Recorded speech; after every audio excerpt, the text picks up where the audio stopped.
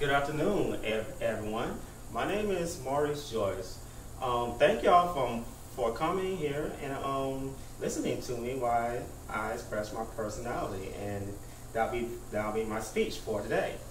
So before we um, get started, um, I see I have three um, freshmen there, so just try to get to know one, one, one another, all right? Just stand up, state your name and your age, and we'll, we'll go from there. Okay. Well, I'm Eric. Nice to meet you. How you doing, Eric? I'm 28 years old from Tampa. From Tampa? Yes. Okay. So Brown, 27, Uh-huh. Tampa also. From Tampa too. Yes. Nice name. Everybody is from Tampa. It's hot here. Yes. Yes, it is. All right. So um, I want to start off by uh, saying, um, start off my speech. Um, basically, um, I'm going to describe you basis of uh, me using um, two TV shows and one song. All right. So because I believe a person um, describe themselves or interact with with um, with TV shows and character that represents them. So the first character that well TV show that I, I want to say is my childhood and I believe that it's the beginning of my personality. Is the show called is the Mighty Morphin Power Rangers. I know y'all y'all remember that. Yes, definitely. All right. That- And uh, and the Power that I believe is representing me is the Red Ranger okay. and his name is Jay Jason.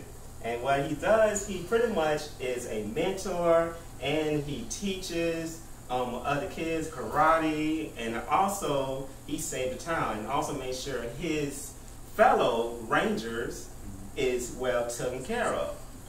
And the reason why I represent him to me is because um, I have five brothers and one sister.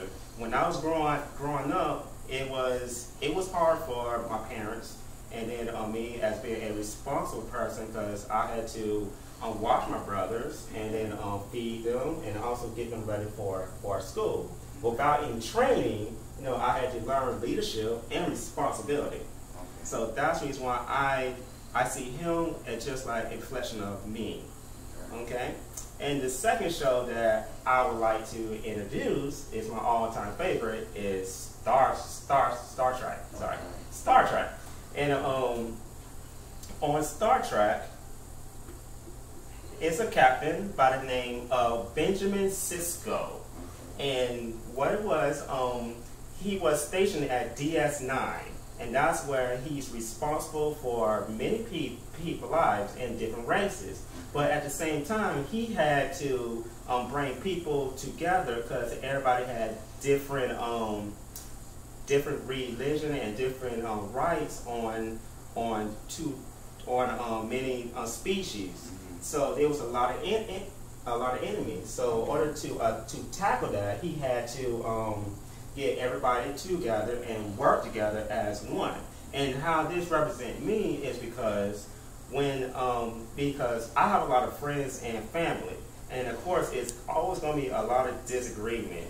So therefore, they always call for me to be a mentor, to be the mediator, how to go in there and um, and get everybody views and work everything out. Oh, And I, exactly. Yes, you know, Yeah. Okay. and I also had saved a lot of um, marriages, relationship with boyfriend, girl, girlfriend, even um, family feud. So that's one of my um, that's one of my TV shows. And the song that I like is called "I'll Be Missing You." Okay. And and I'll, I'll Be Missing You is a song that was um, by Puff Daddy, and it was a tribute to um, Biggie Smalls, Notorious B.I.G. And what and what happened was he had died, and um, and Puff Daddy was reminiscing and rapping about how how they were when they was hanging out and doing songs, Okay. you know, at many shows. So therefore, um, he was just there and reminiscing.